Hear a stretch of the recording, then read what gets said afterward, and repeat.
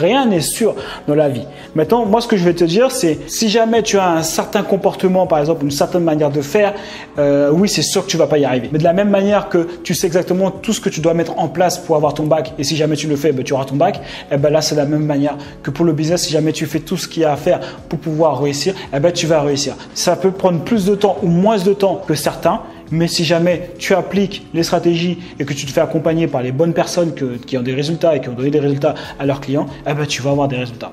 Tout simplement. Donc ça c'est la base. Donc super important. La stratégie elle fonctionne toujours. À partir du moment où tu vois des autres personnes qui ont eu des résultats, c'est que la stratégie elle fonctionne. Si jamais toi tu n'as pas de résultats, c'est parce qu'il y a un truc que tu fais pas bien parce que tout se passe dans la tête.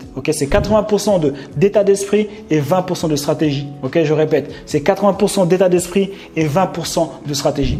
Donc si tu n'as pas de résultat aujourd'hui dans ta vie, c'est lié à ton état d'esprit tu crois pas que c'est possible, tu penses que c'est une arnaque, tu veux pas gagner plus d'argent que tes parents. Enfin, il y a plein de blocages, il y a plein de trucs. Et donc, c'est sûr que quand tu te fais accompagner, quand tu te fais coacher, eh ben, tout de suite, on voit ça tout de suite, tu vois.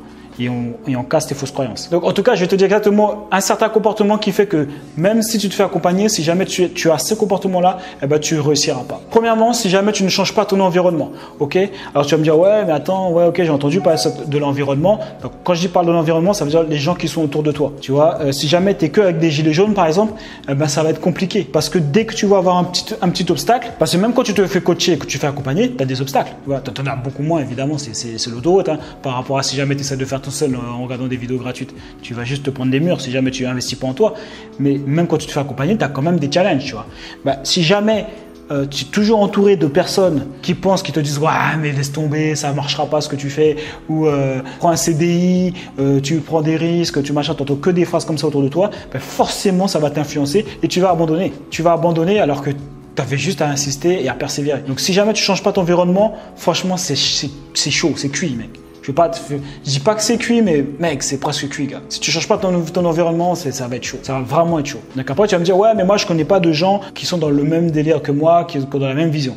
Il y a, mec, il y a plein de groupes Facebook. Il y a plein de groupes Facebook où les gens, et ça c'est gratuit pour entrer dans le groupe Facebook, où les gens ils sont dans le même délire que toi. Tu peux commencer à créer des amitiés. Va vers les gens. Après, si jamais tu es trop timide, tu as peur d'aller dans les groupes, tu as peur de commencer à parler avec les gens, tu peux euh, t'entourer, et c'est ce que je pense la plupart des gens ont commencé à faire, ceux, qui sont partis de zéro. T'entourer, ça veut dire de manière virtuelle, de manière virtuelle, euh, que ce soit à travers les livres, que ce soit à travers les vidéos, ok? Consomme les vidéos de personnes dont tu aimerais avoir le même état d'esprit. Moi je, moi, je consomme tous les jours des, euh, des vidéos, euh, je me forme tous les jours, je lis tous les jours pour avoir l'état d'esprit euh, des personnes. Et je me fais coacher aussi. Tu vois, donc c'est important de toujours rester virtuellement dans le même état d'esprit que les personnes. Ok? Donc après tu vas me dire ouais mais peut-être que ouais je peux pas prendre de coach parce que c'est déjà un certain investissement, c'est sûr. tu, tu, peux pas, tu me dis tu peux pas prendre de formation en ligne, je me dis bon là tu exagères.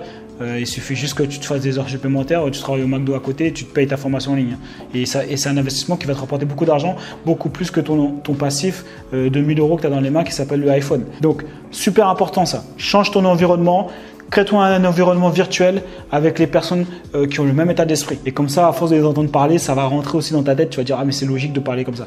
Il faut vraiment toujours renouveler ça constamment. Jusqu'à aujourd'hui, moi, je lâche pas l'affaire. Tu es obligé. Parce que la même façon que l'environnement, en fait, il t'influence tellement de manière puissante que si jamais, par exemple, là, je me retrouve que avec des gilets jaunes, eh ben, je vais repenser comme eux. Donc, tu vois l'importance de toujours lire, en plus de te former pour pouvoir passer à l'action et d'avoir des stratégies, l'importance de lire des biographies, de continuer à écouter du contenu, euh, de s'entourer, d'avoir des amis. Euh, ça, c'est le top, d'avoir des amis euh, qui, sont, ont le même état d'esprit, qui ont la même vision que toi. Même s'ils n'ont pas encore atteint les objectifs que toi, mais au moins, ils sont dans la même direction, ils veulent y aller, tu vois.